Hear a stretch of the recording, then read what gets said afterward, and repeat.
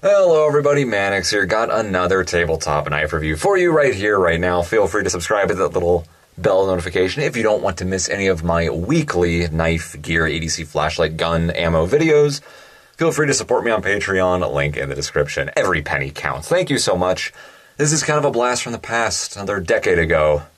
Knife. I seem to review a lot of those these days, don't I? Kershaw OD1. You ever seen this one? It's got that clean, black and gray Kershaw look to it. Very beautiful. Really nice and proprietary looking, actually. Good looking frame lock right there. But there's something very interesting about this knife. It's in the name, the OD, saying for overdrive. This little mechanism up here. It's not a flipper, it is what they call the overdrive or OD mechanism. It's a mechanical arm that swings 90 degrees and in turn moves the blade out 180 degrees fully.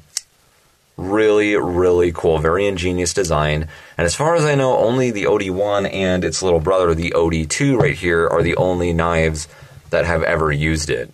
So far, they have not made any other knives with that mechanism right there. It's really, really cool. There are a lot of advantages to it. It's, it's such a simple thing. It's not even that big of a deal, but it functions very well. It's really, really, really awesome. Look at the specs out of the way, like I always do. 14C28N blade steel on here. It's an American Sandvik steel, comparable to 8CR13 MOV, 420HC if it's got a good heat treatment on it. It's it's it's like a lower mid, eh, maybe just like medium tier blade steel, but it keeps costs down. It, overall, it's good. Gets extremely sharp. Won't hold an edge forever, but it holds it for long enough. Just keep your knife maintained, keep it stropped, keep it oiled, and you shouldn't have any issues. G10 handle scale right here, 410 stainless steel frame on there for the rest of the knife. Handle length is 4.125 inches. Overall length is 7.0625 inches, which means if you did some math in your head real quick somehow, the blade length is 2.9375 inches, which is barely a hair, just a hair under 3 inches for the blade, and just a hair over 7 inches for the overall length on here. So I would qualify this as a medium, medium size folder. It's a little bit thin. You know, some knives even at this length are a little bit wider, but I would still consider it medium size. Weighs 3.4 ounces according to Kershaw's official website. But let's take a look at that. Let me use my scale here and weigh it. Janky scale right here. 2.91 ounces. Huh. That is considerably less than 3.4. So it is just under three ounces right here. I believe that. Doesn't feel that heavy. It's pretty dense. Nice little FRN backspacer right there. Tip up and tip down carry. Love that pocket clip. It's pretty much the same pocket clip you've seen on the Kershaw Skyline. Another knife I wish they would bring back. Not ambidextrous, unfortunately. It's only on this side, sorry. There is a lock bar stabilizer right there, hiding right under the pocket clip. As you can see, it's completely invisible. You can't see it with the pocket clip in the way. It's funny, for years and years and years, when I've been lusting after this knife, it's been discontinued a long time ago. I want to say maybe 2014 they stopped making these. Somewhere around there, early 2010s, they stopped pretty quickly after they released them. But for the longest time, I didn't think they had a lock bar stabilizer. But no, when I actually got one new in box at a gun store near me, I noticed that little lock bar stabilizer right there, which means you cannot overextend the lock bar, which is awesome. All frame lock knives should have that. There's no excuse not to have one, I don't think. Texture on the G10's medium, medium light traction, kind of like a Spyderco Tenacious line of knives. Very simple, very clean looking knife right here. I love frame locks. Frame locks are so cool, especially when they're two tone like this G10 on one side, stainless steel on the other. Man, it's beautiful kind of a bead blasted finish on here on both the pocket clip and the stainless steel handle scale on the blade. It's all bead blasted, good looking. Um, it's a very economy, sort of cheaper way to get a finished look to a knife. However, it does not play nice with the elements. It tends to rust very easily. So just got to keep your knives oiled up and stored away properly if you want to avoid that. Uh, it's one common complaint amongst a lot of Kershaws. Thank God this one is not assisted. It's completely manual. Just a preference of mine. I like the texturing on this lock bar right here. Really can let your thumb dig in there when you're trying to disengage it. This one's still somewhat new. I got it new in box, so the frame is still kind of getting stuck on there. It clicks every now and again when I really thwack it out. Uh, that time it didn't, but it's still kind of getting broken in. Even though I have been using it for a few months now, but Little stop pin, little stop pin right there. But it works fine, no problems there. It's good lockup overall. There's actually a decent amount of side to side on this one. I haven't adjusted it in a while, so I'm going to go ahead and tighten that after the video. But it, it's moving pretty freely, so it can afford to be tightened down a little bit more. No up and down, just like it should. Frame locks are pretty strong. They're stronger than liner locks simply because your grip helps enforce the lock itself. Not so much on the design, it's more just because, again, your, your fist, you're clenching it. The fact that you are clenching it is what is helping tighten it. Even if the lock was the same thickness as the liner, it still would be stronger, technically. Carries like a dream because it's on this flush, smooth steel back right here, this handle scale anyway, the pod clip is resting on. There's no texturing under there, so it's very smooth. Can be swapped to tip down. Less will be poking out of your pocket if you do it that way. But if you put it tip up, there's a good half or almost two thirds of an inch of extra distance right here. I don't know why they really oriented that way, but it is what it is.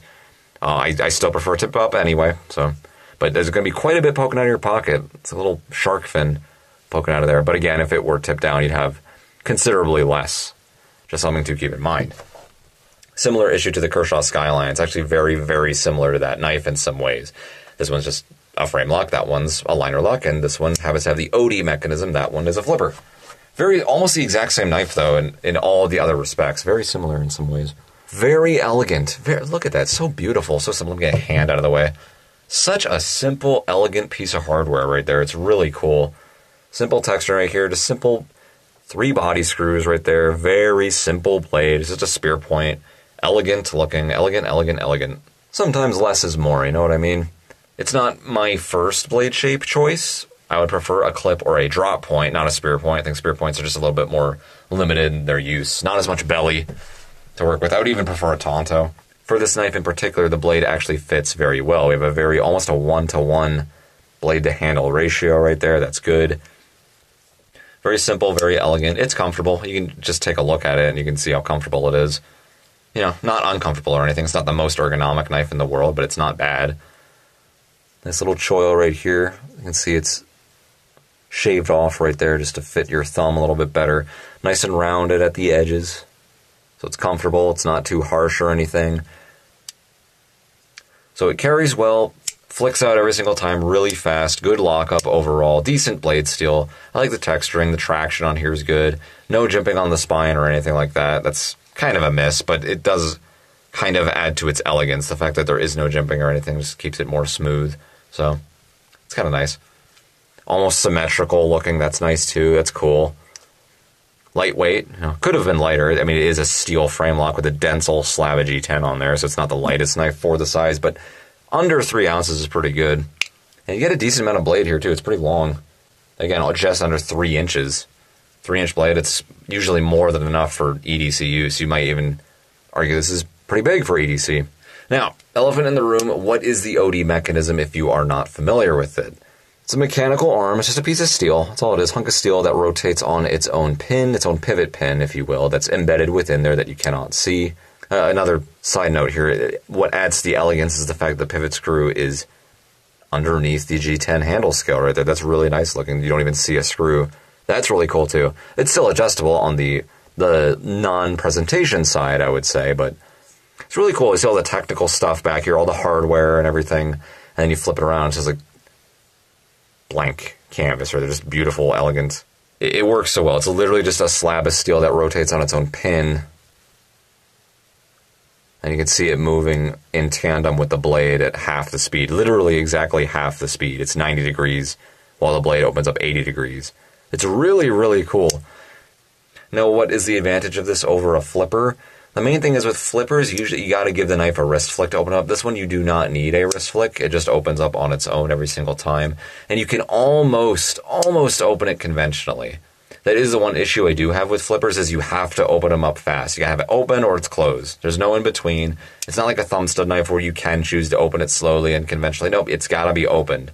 A flipper, you can't slowly open a flipper knife. You gotta either open it or not open it. With this, on the other hand, it kind of gives you a leeway a little bit. I'm trying to open it slowly, but the detent in there is keeping it shut. So if I got it started, might have to tighten down the pivot screw too, but let me just get it started here. Basically, it gives you, you can kind of slowly open it. Sort of. It's it's somewhat of an advantage if you don't want to flick it open every single time. But for me, it's just it's cool that you don't need any wrist movement either. Just just by its sheer design, just by moving your index finger down like a you know a third of an inch or so, you get that blade opened every single time. It's really really cool. Same thing on the OD2. Same thing. Just already have a review on this guy. I had this knife for almost a decade. Yeah, probably like 10 years now. Yeah. 10, 11 years. That's for a long, long time. Similar knife in a lot of ways. Looks very similar. It's a liner lock and has FRN handles instead of G10. It's not a frame lock, but same mechanism on there. Really, really cool knives. Love these two. Love them a lot. I don't know why they didn't bring this back. I'd love to see more knives with the OD mechanism. Really awesome piece of art. It's so simple, too. It's not that big of a deal. It's just a separate piece of metal that rotates on its own pin. Easy. Less is more. You know, no frills. There's nothing really fancy going on here. It just looks very, very classy, very simple. But it's a good EDC slash almost tactical blade. Almost. It could flex into that philosophy of use there. But anyway, that is it. Kershaw OD1. Bring these back, Kershaw. Seriously.